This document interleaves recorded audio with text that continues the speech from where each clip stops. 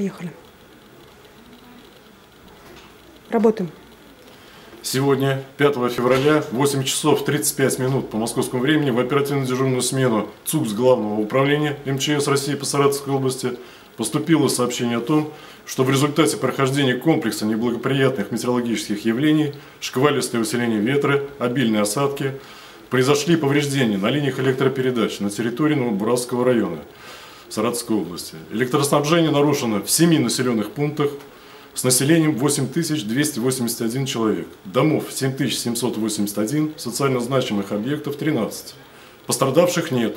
На месте работают 12 бригад УАО МРСК «Волги», оперативная группа Новобуратского пожарно-спасательного гарнизона, всего от МЧС России по Саратовской области 3 человека, одна единица техники, от РСЧС 74 человека, 29 единиц техники. Дополнительно направлены еще 4 бригады от МРСК «Волги» и подрядных организаций, подключены к социально значимым объектам 2 дизель-генератора, выдвинуто дополнительно 8. Для оказания помощи направлены 2 снегохода.